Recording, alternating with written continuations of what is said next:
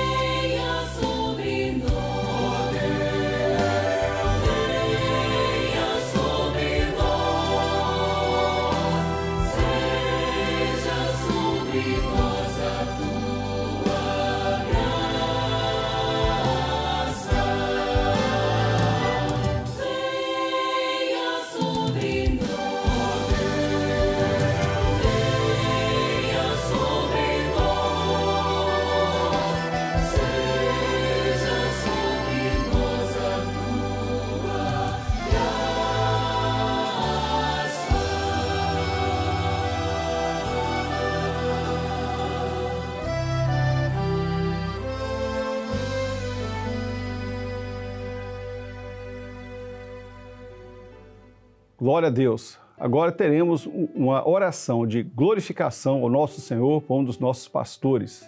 Te louvamos, meu Senhor, nós te agradecemos pela oportunidade de poder mais uma vez participar de um culto, de uma bênção, na qual o Senhor tem nos dado. Nós te louvamos, Senhor, pelos sinais e pela promessa que o Senhor tem para o teu povo, de um dia, ó Pai, estar contigo na eternidade. Nós te louvamos pela tua igreja que caminha com a certeza, Senhor, de que encontraremos contigo a tua igreja fiel e verdadeira, na qual tem buscado a tua face, ó Deus. Nós te louvamos porque o povo anuncia o teu nome e em nosso meio, ó Deus, teu nome tem sido glorificado. Te louvamos e bendizemos por todas as operações, em nome de Jesus. Amém. Glória a Deus, louvado seja o nome do Senhor. Vamos continuar ainda adorando nosso Deus com mais um hino de glorificação.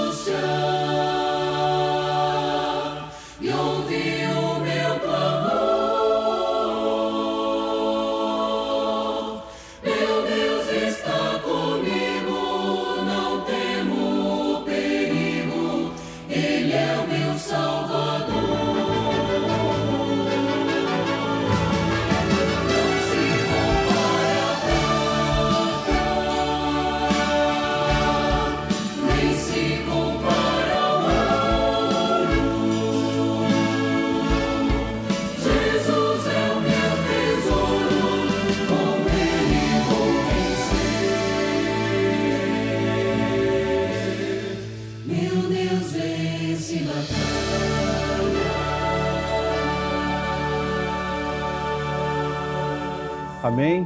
Vamos continuar adorando o Senhor com mais um hino, juntamente com as crianças, adorando o nosso Deus.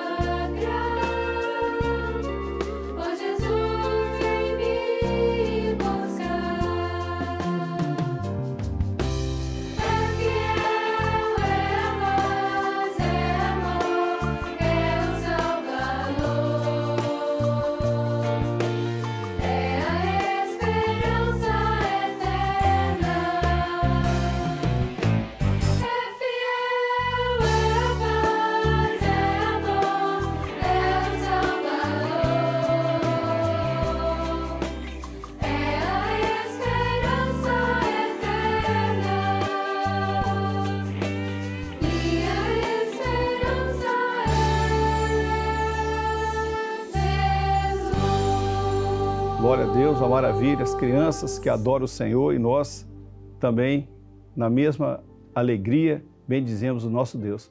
Mais uma oração de glorificação, de adoração ao nosso Deus. Senhor, nós te louvamos, bendizemos o teu nome, Senhor, pela tua presença, por tudo aquilo que o Senhor tem feito, pelo cuidado, pelas experiências, pela tua obra, Senhor, que a cada dia o Senhor tem fortalecido, Senhor, nas nossas vidas. Te glorificamos também pelos aquelas pessoas que assistiram ao evento, Trombetas e Festa 3, por tudo aquilo que o Senhor operou, pelas experiências, Senhor, em cada igreja, em cada seu ponto, Senhor, aonde foi transmitido o evento. Te louvamos, Senhor, assim por tudo, em nome do Senhor Jesus. Ainda nessa mesma alegria, continuemos a louvar e adorar o nosso Deus.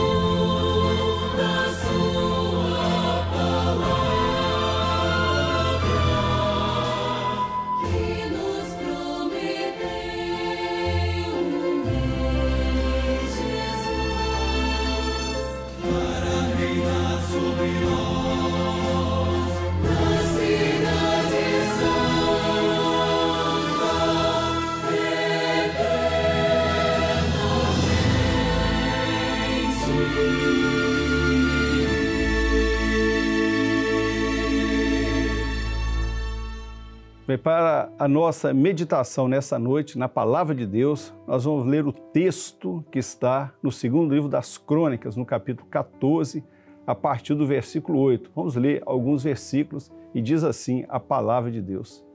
Tinha, pois, Asa um exército de 300 mil de Judá, que traziam pavês e lança, e 280 mil de Benjamim, que traziam escudo e atiravam de arco. Todos estes eram varões valentes. E Zerá, o etíope, saiu contra eles com um exército de mil milhares e trezentos carros e chegou até Maressa. Então Asa saiu contra ele e ordenaram a batalha no vale de Jefatá, junto a Maressa. E Asa clamou ao Senhor seu Deus e disse: Senhor, nada para ti era ajudar, quer o poderoso, quer o de nenhuma força. Ajuda-nos, pois, Senhor nosso Deus, porque em ti confiamos e no teu nome viemos contra esta multidão.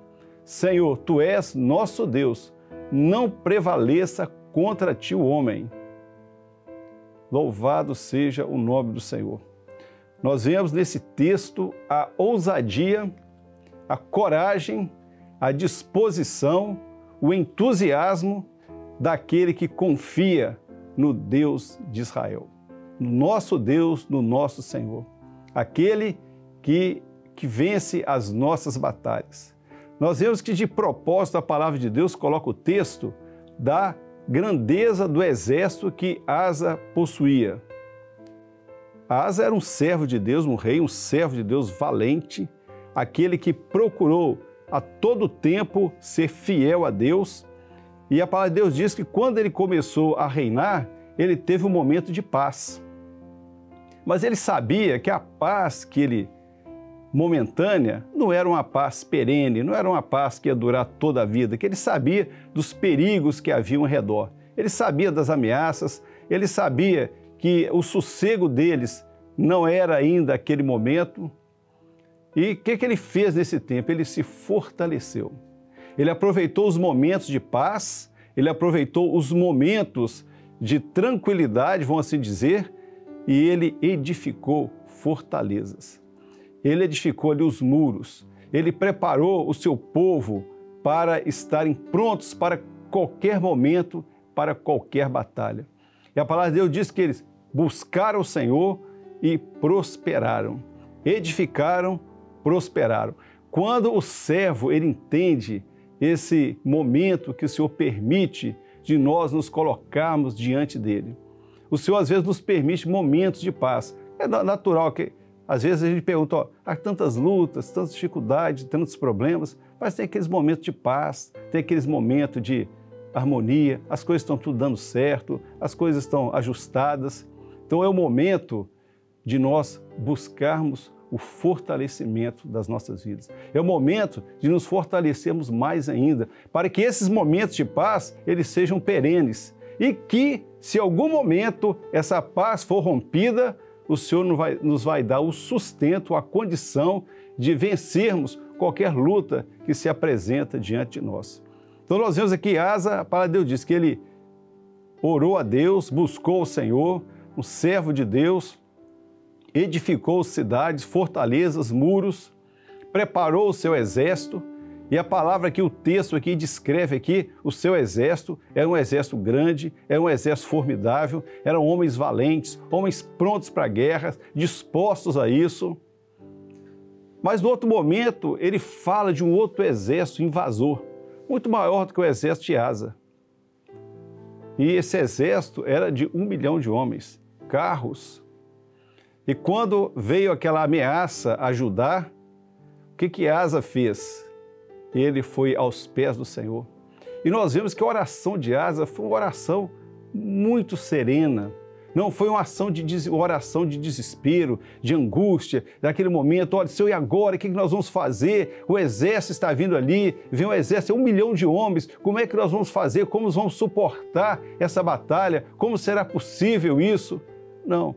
A oração de Asa foi o seguinte: Senhor, eu tenho um exército preparado, tem outro que está vindo aí.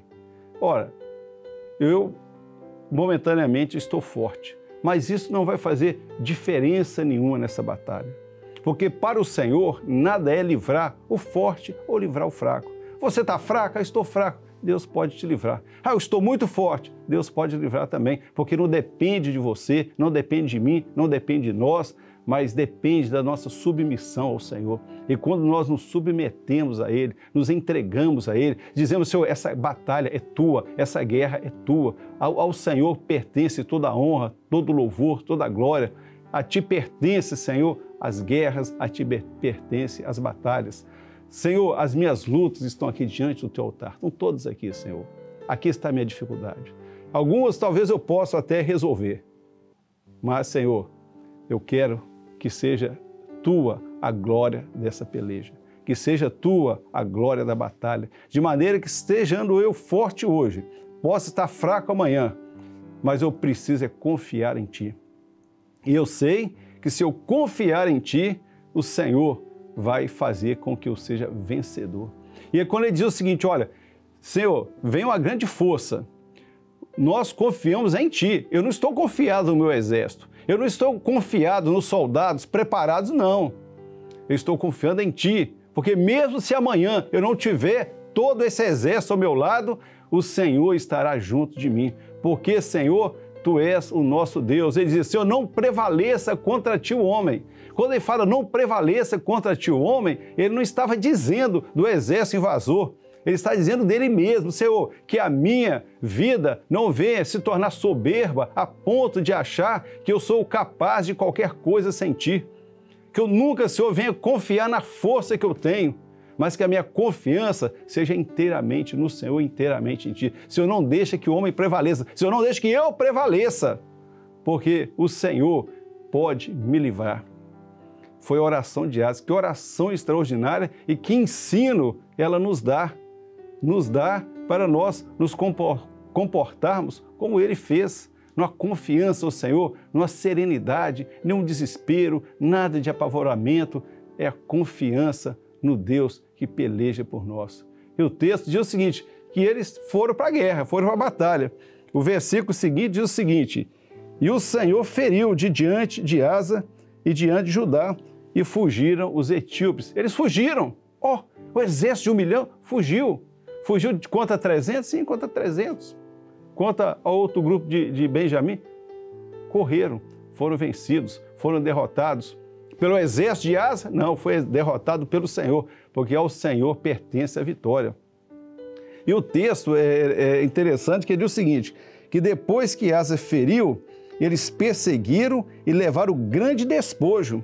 Ora, aquela guerra que começou, depois que ela terminou, por exemplo, que, qual, qual a contabilidade da guerra? Qual a contabilidade da batalha? Como que aconteceu? Quando nós entramos em luta, o irmão, a irmã, o servo, ele entra na luta, aquela, aquele momento de aflição, aí ele vence, qual que foi o resultado? Ele sai tirando ali os despojos, porque ele sai mais enriquecido que antes. Ele já estava bem, agora ele está melhor, porque eles levaram um muito grande despojo. Meu muito grande despojo, ou seja, é o resultado da, da, da, do que Deus fez, é o resultado do livramento do Senhor, é o resultado dos sinais que Deus operou, a experiência que nós adquirimos, saber que nós podemos confiar no Senhor, que seja qual for o momento em que nós vivemos, nós temos um Deus em que nós podemos confiar, um Deus que está presente em nossa vida. Por isso que nessa noite, né, que nós aqui estamos em culto de louvor ao Senhor, quantos motivos nós temos para adorar o nosso Deus, quantas vitórias alcançadas, quantos momentos que nós dizemos, Senhor, as minhas forças não existem mais, mas a força do Senhor, ela continua conosco. Senhor, a minha força, ela acabou, mas a tua força, Senhor, ela é eterna, a tua mão é poderosa, o Senhor é forte, o Senhor é o Deus da guerra. Quantas vezes, eu não, hoje eu estou até bem, estou muito bom, estou pronto para qualquer batalha. Não, mas a força é do Senhor, a vitória é do nosso Deus. Por isso que nós glorificamos o Senhor. E o capítulo ele finaliza dizendo o seguinte: olha, e foram todos voltaram para Jerusalém. Ora, no final de tudo, o propósito de tudo, toda a finalidade nossa, seja o que? Voltar para Jerusalém. É tudo que nós queremos. Ir para casa, a nossa habitação, a nossa morada, voltar. Depois de lutas, depois de provas, depois de tantas situações adversas, mas vencedores, nós entramos agora, esperamos o momento de voltarmos vitoriosos, levando os despojos, entrando em Jerusalém. Essa é o resultado da nossa batalha. Você, irmão, minha irmã, nós que estamos nessa batalha, os nossos amigos que participam conosco, de tantas lutas, nós sabemos uma coisa: seremos e somos já mais do que vencedores. E nós entraremos em breve em Jerusalém com o resultado de tudo que Deus operou em nossa vida, com os despojos, com a bênção, enriquecidos pela operação da mão poderosa do nosso Deus. Que o Senhor nos abençoe. Vamos estar adorando a Deus com mais um hino glorificando o nosso Senhor.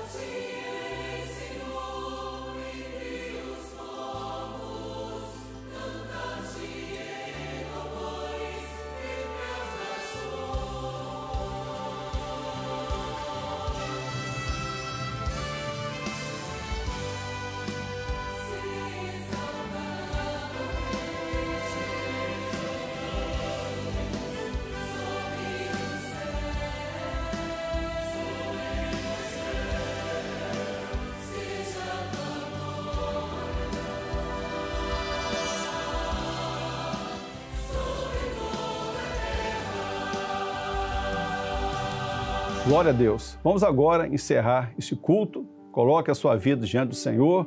Coloque a sua necessidade. Você está em luta, você está em prova, você já, tá, já venceu a batalha, venceu a guerra. Então nós vamos agora orar e que Deus assim abençoe a cada um de nós. Adoramos, Senhor, o teu santo nome, glorificamos a Ti por mais uma noite na tua casa, podemos glorificar, adorar o teu santo nome. Queremos suplicar, Senhor, por todos que participam conosco deste culto, Senhor, que cada um seja tocado pelo Senhor, abençoado por Ti, receba do Senhor a porção necessária para vencer as lutas, as provas e serem, Senhor, mais do que vencedores. E assim, Senhor, recebe nosso culto, nosso louvor. E em Teu nome dizemos que a graça do Senhor Jesus, o amor de Deus, o nosso eterno Pai, as doces consolações do Espírito Santo repouse sobre vós e sobre todo o povo de Deus, hoje e para todo sempre. Amém. Amém. Assim o nosso culto está encerrando. Lembramos que está diante de todos aí o QR Code para que você transmita a sua experiência e compartilhe conosco. Da mesma forma, os nossos irmãos que estão no exterior, quiserem oração, quiserem assistência, está aí o QR Code, você poderá também ser assistido. E aqueles que são visitantes, nossos amigos que participam conosco, tem o telefone 0800 que está à sua disposição. Você vai poder ligar, vai receber uma oração, vai receber uma assistência, aquilo que você precisa ouvir, aquilo que você tem a sua indagação, é o momento de você ser assistido. Use esse telefone, está à sua disposição. E assim, nós encerramos este culto e desejamos a todos a paz do Senhor Jesus.